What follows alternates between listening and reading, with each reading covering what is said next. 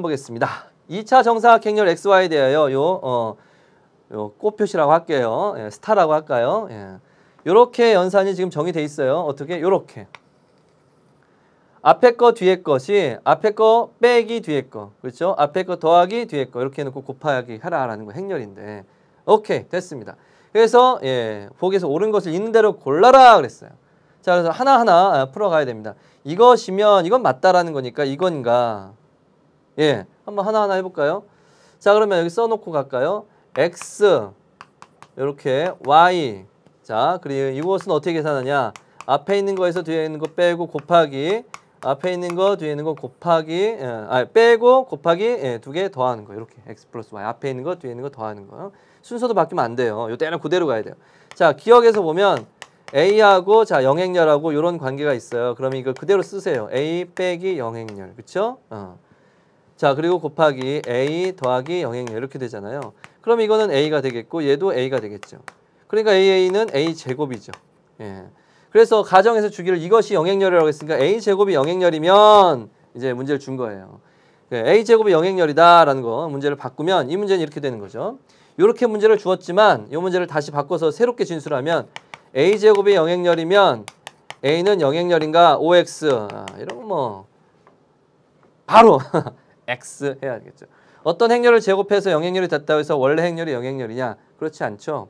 예, 발레도 여러분들이 잘 알고 있을 것이고 다 그렇게 공부했던 했었던 내용들이고 여러분 잘 알고 있을 겁니다. 뭐 영인자에 대한 내용 뭐 특별히 따로 안 해도 되겠죠.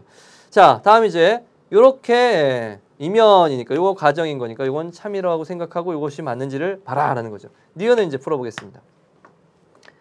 A하고 B하고 연산 이렇게 한 것이랑 A하고 마이너스 B랑 연산한 것이 같다는 거예요. 이것이 같다. 그럼 이게 뭔데요? 이거 먼저 해볼까요? 예.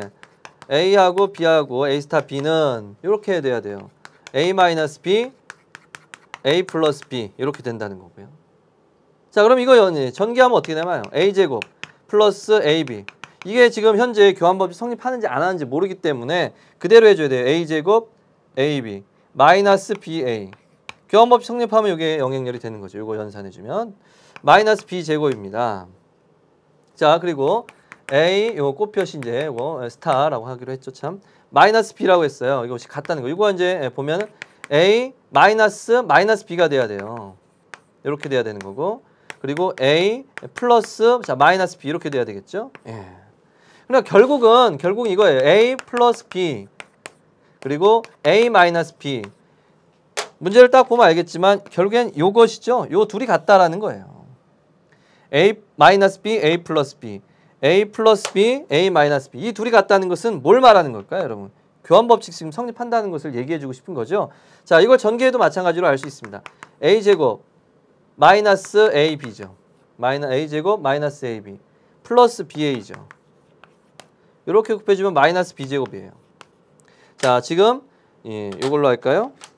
요 부분 얘네 둘이 지금 얘네 둘이 같다고 그랬으니까 얘네 둘이 같은 거거든요. 얘네 둘이 같다는 것은 요 부분 요 부분이 둘이 같다는 거예요. 얘네 둘이 그러니까 같으니까 어떻게 돼요? 어, 이렇게 해놓고 같다고 두니까 소거되고 마이너스 b제곱 소거되고 ab 마이너스 ba가 마이너스 ab하고 어, 플러스 ba하고 같다. 써볼까요?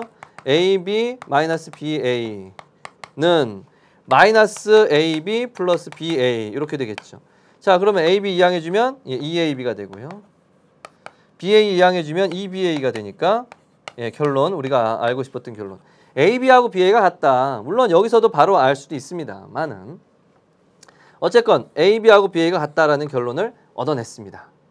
자 그래서 문제에서 요구한 게 뭐였죠? 예, 이것이 맞느냐? A, B의 제곱이 A 제곱, B 제곱과 같으냐? 교환 법칙 성립하면 얘네들은 참이죠. 자, 한번 해볼까요? 해보죠. A, B의 제곱이라는 것은 그러니까 사실은 여기서 바로 참이구나 라고 해야 되고 이제 연습한다면 이런 거 연습해야죠. A, B, A, B예요. 이거는. A, B의 제곱이라는 것은 A, B가 이렇게 두 덩어리가 있는 겁니다. 이거 함부로 이렇게 바꿔주면 안 되거든요. 원래는. 그렇죠? A, B, A, B 순서로 써줘야 돼요. 이걸 함부로 바꾸면 돼요? 안 돼요? 안 돼요. 그래서 바꿀 수 있다. 왜? 교환법이 성립하니까. 결합법칙도 성립하고 이걸 이렇게 먼저 계산해도 됩니다. BA로. 그런데 얘네들을 A, B로 바꿔도 상관이 없죠. 왜? 여기에서 교환법이 성립한다고 해줬으니까. 따라서 a의 제곱, b의 제곱이 되는구나. 그래서 a, b의 제곱은 a 제곱, b 제곱이 되는구나. 그렇죠. 항상 a, b의 제곱이 행렬에서 a, b의 제곱이 a 제곱, b 제곱 같으냐? 그렇지 않아요. 그런데 이번 경우에는 교환 법칙이 성립하는 경우라서 성립한다라는 것을 알 수가 있습니다. 자, 이렇게 해서 기억 니은 예, 살펴봤습니다. 자, 이렇게 해서 기억은 틀렸고요. 예, 니은은 맞았습니다. 자, 이제 디귿만 남았어요. 예. 기억은 틀렸고요. 예, 니은은 맞았습니다. 이제 디귿만 살펴보면 됩니다. 자, 여러분들이 이런 합답형의 어려운 것은 보통 이제 디귿에 많이 나타나죠. 예, 디귿이 이번에는 그렇게 어려운 형태는 아니었는데요. 한번 또 바, 살펴보도록 하죠. 디귿 A 예, 스타 2가 A이면이라고 있어요. 이게 이제 성립한다는 거죠. A 플러스 2의 예, 역행렬이 존재하는가 있는가 이걸 묻는 거예요. 자, 이거는 이제 참이 되는 거예요. 이걸 이용하라라는 얘기죠. 자, 그러면 요거 어, 요거에 의해서 A 플러스 2 어, A 마이너스 2죠. A 마이너스 2, A 플러스 2 이렇게 됩니다. 뭐 사실은 어, 이건 단위 행렬이니까 순서는 사실 상관없겠군요. 그렇죠? A 어, 마이너스 2, A 플러스 2가 됩니다. 예. 뭐 어쨌든 정확히 해줘야 돼요. A 마이너스 2, A 플러스 2. 예, 요거는 바뀌어도 상관없지만 요런 함부로 바꾸면 안 되니까. 자, 어쨌건 여기 단위 행렬이니까 이게 A 이렇게 되죠. A 제곱 마이너스 2가 됩니다. 이것이 A다. 따라서 A 제곱 마이너스 A 마이너스 2는 영행렬이다. 이렇게 나와요. a제곱 마이너스 a 마이너스 2는 영행렬이다. 이게 나왔다는 거죠. 이만큼이. 이걸 가지고 a 플러스 2의 역행렬이 존재하는지 안 하는지를 살펴봐라 라는 얘기는 a 플러스 2에 다가 어떤 것이 곱해져서 이렇게 나오는지 이런 것이 존재하는지 존재성 여부를 생각해 봐라 라는 거거든요. 이렇게 만들 수가 있는가 이거죠. 이런 것이 존재하는가 어떤 행렬이 존재하는가 자 요걸 가지고 만들면 돼요. 그러면 여기에 이제 단행렬이 들어 요걸 잘 조절하면 됩니다. 요거 한번 볼까요? 자, a의 제곱 있어요. 그러니까 이 a 제곱 여기다 옆에다 쓸까요, 그냥? 예. 이렇게 있으니까 얘네들을 약간씩 변형해서 a 플러스 2의 어떤 인수가 있도록 만들어 주려면 어쨌든 제곱의 형태니까 a 플러스 2가 이 형태를 만들어 두고 여기에 뭐 a는 무조건 와야 되겠죠. a 제곱을 써야 되니까. 그리고 마이너스 a가 되기 위해서는 얘가 마이너스 2가 되면 돼요. 우선은. 왜냐하면 이렇게 해서 a 제곱이죠. 그리고 마이너스 2, 2가 있어야 이렇게 마이너스 2가 되고 이렇게 2, 2가 돼서 마이너스 a가 되고요. 그러면 이렇게 이런 예, 마이너스 2에 대한 연산을 이렇게 해주면 아 없는 걸 써준 거예요. 뭘 이렇게 곱해준 마이너스 2를 여기다가 지금 어, 연산을 더 첨가시켜 준 거란 말이에요. 그러니까 어떻게 돼? 마이너스 했으니까 플러스 해줘야 돼요. 이 a를 어, 이렇게 한 거지. 그러니까 이 2를 다시 써주면 어, 원래 연산과 이제 동일하게 되고 이제 남아 있었던 마이너스 2를 써줍니다. 자, 됐습니다.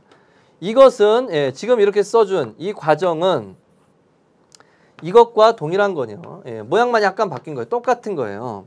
근데 왜 이런 과정을 거쳤냐? 바로 a 플러스 2에 역행렬이 있는지 없는지를 살펴보기 위해서 a 플러스 2를 중심으로 해서 요 개수를 좀 맞춰준 거죠. 이렇게 전개해주면 바로 a의 제곱 마이너스 이제 2a가 될 것이고 플러스 a가 되고 마이너스 2, 2가 되고 예, 요 뒤에 있는 것은 플러스 2, 2, 마이너스 2 이런 과정을 거쳐준 거예요. 이런 것을 어떻게 한 거예요? 여기에 마이너스 a가 됐고 여기는 예, 영행렬이 됐으니까 a 제곱 마이너스 a 마이너스 2니까 원래 a 것과 똑같죠. 예, 행렬과 똑같다는 약간의 변형만 해준 거죠. 자 그러고 나니 이쪽이 뭐가 됩니까? 이게 2가 되니까 이항해줘요. 예, a 플러스 2 그리고 a 마이너스 예, 2, 2 그럼 마이너스 2가 되었죠. 예, 그래서 예, 한 번만 더 쓸까요? a 플러스 2 마이너스 여기다 이제 곱해주면은 2, 2 마이너스 a는 2가 되니까 a 플러스 2하고 이걸 곱했더니 단형렬이 나왔어요. 그러니까 바로 a 플러스 2의 역행렬은 2, 2 마이너스 a가 되는 거예요. 2, 2 마이너스 a. 그러니까 이걸 구체적으로 어, 찾지 않더라도 된다. 역행렬이 존재한다 안 한다. 그 존재성 여부니까 존재한다 맞습니다. 예, 된 거예요. 자, 이런 과정의 문제도 이게 낯설진 않죠. 예. 위에 있는 이 정의를 준 것이 조금 오랜만에 나와서 아마 낯설었을지는 모르겠으나 이 내용 자체가 그렇게 예, 처음 보는 내용이거나 예, 그렇진 않을 겁니다. 그래서 기억은 틀렸고 니은과 디귿이 맞아서요. 니은 디귿이 맞았다. 5번이 답이 된다는 것을 알 수가 있습니다. 11번은 바로 5번입니다. 자, 됐습니다. 이렇게 해서 아, 자, 행렬 합답형 문제라고 해서 보통 이제 4점짜리 예, 많이 나오는데 예, 이번에는 3점짜리였군요. 그렇죠? 예. 자, 다음 이제 문제 보겠습니다. 예, 12번